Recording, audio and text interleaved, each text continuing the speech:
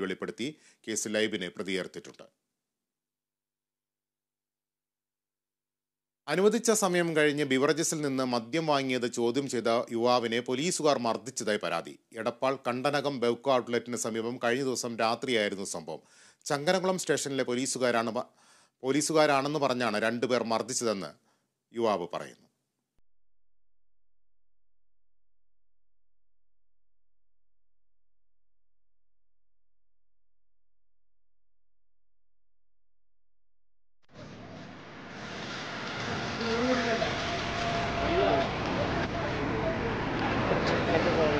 വീട് വീട് ഏ?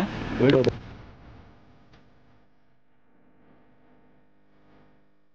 രാത്രി ഒൻപത് മണി വരെയാണ് ബെവ്കോ ഔട്ട്ലെറ്റിന്റെ പ്രവർത്തന സമയം.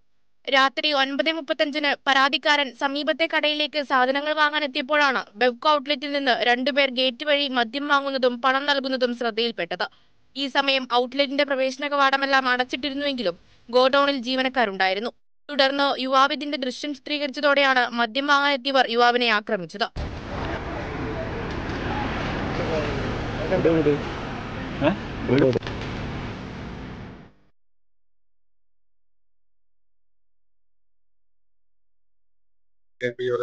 ചുറ്റും അവിടുന്ന് മദ്യം വന്ന് ഗേറ്റ് വഴി മദ്യം വന്ന് കണ്ടു.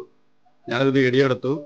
എന്നോട് ചെന്നൈയുടെ വീഡിയോ എടുത്തു ഞങ്ങൾ പോലീസ് സ്റ്റേഷൻ ആൾക്കാരെ കൊണ്ട് എന്നെ മർദ്ദിക്കണ്ടായത് ഫോണെടുത്ത് വെച്ചെറിഞ്ഞു എനിക്ക് ശരീരം മൊത്തം വേദനയാണ്.